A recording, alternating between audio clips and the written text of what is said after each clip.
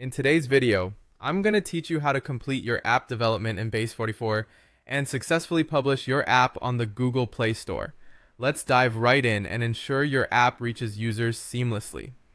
To begin with, once you've put the finishing touches on your application within Base44, it's time to export your app package or APK file. This file is essentially a bundle that contains everything needed to install and run the app on a device, making it crucial for the subsequent steps. Next, if you haven't already, you'll need to create a Google Play developer account.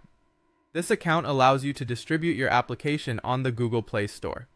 Setting up this account is straightforward, but do note that Google charges a one-time registration fee. With this account ready, you'll have access to the Google Play console, a platform where you'll manage your app's lifecycle. Moving forward, open up the Google Play console in Chrome and log in with your developer account credentials. This console is your primary hub for bringing your app to life and making it available to users worldwide. Once you're logged in, you're all set to start uploading your APK file. Navigate through the console to initiate the upload process, and here's where you'll provide important details about your app. This includes its name, description, screenshots, and other essential information that will appear on your app's Google Play Store page. Setting the right pricing for your app is another important step.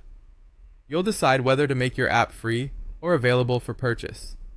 If you choose to offer in-app purchases or subscriptions, you'll configure those options here as well. Ensure you're familiar with Google's policies on app pricing and transactions to avoid unexpected issues later. With your app now uploaded and detailed, it's time to move on to the content rating section. This step is crucial for ensuring your app is displayed correctly in different regions and age groups. Google Play Console provides a questionnaire to help determine the appropriate rating for your app. Answer these questions honestly and thoroughly to avoid any future compliance issues. Don't forget the privacy policy. A clear and comprehensive privacy policy is mandatory, especially if your app handles personal data. This will help users understand how their data is managed, contributing to building trust and transparency. Finally, it's time to submit your app for review. Google will conduct a thorough review to ensure compliance with its guidelines. This process can take some time, so be patient. During this period, keep an eye on the publishing status of your app within the console. It's important to remain proactive even after submission. Monitor the status and be ready to respond to any feedback or required changes from Google. Doing so ensures a smoother transition from review to release.